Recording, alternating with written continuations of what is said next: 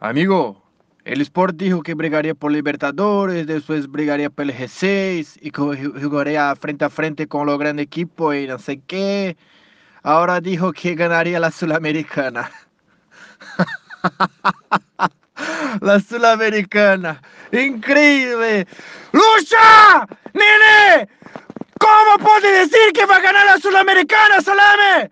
Tu atacante tiene 300 kilos, la concha de tu madre. ¿Cómo puede decir que va a ganar la Sudamericana con Diego más pesado que Ronaldo el fenómeno en los Corinthians?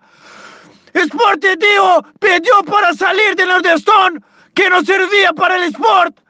Hablar que jugaría el Pernambucano con los juniores, Salame.